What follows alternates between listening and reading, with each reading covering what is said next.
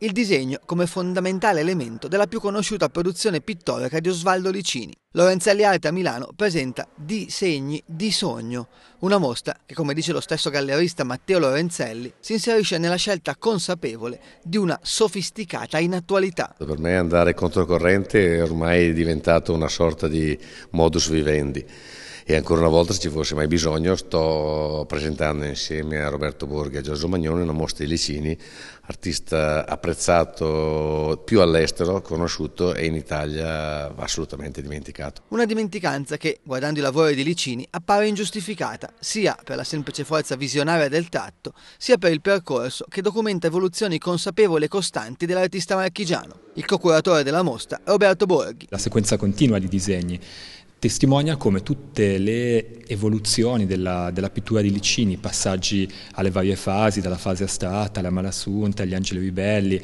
per poi tornare a degli angeli con una memoria così della fase astratta geometrica, ecco queste fasi sono state elaborate precedentemente nel disegno e poi le intuizioni elaborate nel disegno si sono come condensate nella pittura. Pittura che in mostra è comunque presente, ma in posizione successiva e ridotta rispetto al disegno con dei lavori di piccola e media dimensione, che comunque testimoniano della forza espressiva di Licini. E Lorenzelli rivendica le proprie scelte all'insegna della ricerca e non solo delle opportunità di mercato. Oggi come oggi sono sempre quei 4-5 nomi che girano e trovo che ci sia una noia mortale in giro. Le gallerie fanno solo, almeno non tutte le gallerie, ma molte gallerie fanno solo una linea di mercato, non c'è più nessuna forma di esplorazione o di riproponimento di artisti dimenticati e sconosciuti che meriterebbero molto di più di quello che, che, che succede oggi. Fino al 30 gennaio 2016 sarà dunque possibile confrontarsi con l'opera, per così dire sotterranea, di Osvaldo Licini.